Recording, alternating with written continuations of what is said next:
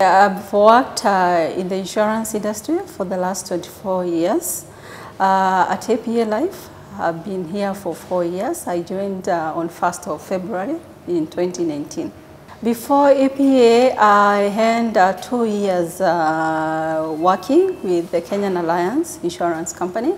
And before then, I worked for Jubilee Insurance Company for 16 years. I wanted to be a pharmacist. Yeah, I trained as a teacher, but I ended up as an insurance professional. Leadership is more or less associated with men. Yes, so you find that there is that perception and attitude when you take up leadership as, as a lady. So uh, that was another uh, big challenge that I had to deal with. And of course, being a lady also, you have to deal with the internal issues. You have to convince yourself that actually I'm up for it. And when you look at the field, you can see very few ladies at that position. So getting a mentor, challenging yourself, believing in yourself that you can actually do it in this field where there are very few ladies. It's more of men uh, positions. So that was quite a challenge. And also at the same time as I was growing in my career, I was also bringing up uh, a family. Okay. And I was also developing my profession. So I was standing because I come from a different profession. So I had to study and grow my knowledge and skills on insurance. So I had to juggle between the three responsibilities, which was quite a challenge, yeah.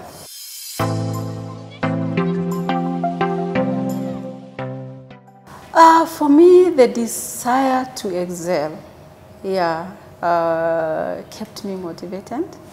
Um, also, uh, looking at my background, I came from uh, a family or a societal position where uh, there's no woman in, around my family who and uh, developed beyond housewife. Yeah. So I really wanted to make a difference and also become a role model and a motivation to my siblings and also to the other uh, family members who are behind me. So that desire to excel, uh, I know it was within me and I also wanted to do the very best in whatever I do. I also believed that it is possible uh, because when I was in high school, I, I, I challenged myself to do well as, as a girl in sciences and mathematics. Yeah, I was, yes, I was doing poorly. Yeah, I was a D student in STEM, but I ended up by the end of Form 4 as a A student, which was a personal drive yeah, and out of that, I kept believing nothing is impossible. Whether you are a lady or a man, you can still achieve it. Yeah.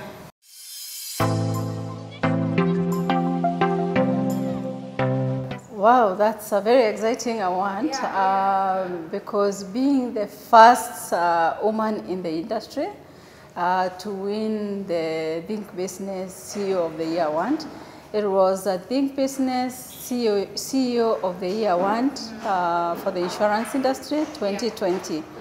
For me, this uh, comes in as a vote of confidence on my leadership, but also looking at it, I would say it's not only uh, my award, but it's also an award for APA Apollo Group yeah.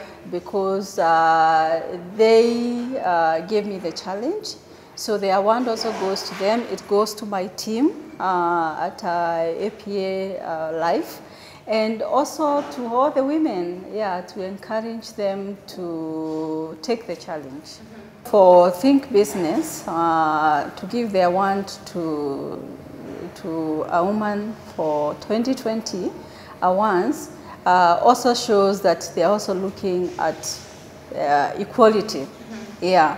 So I think it's, it's a positive one. Okay. Mm.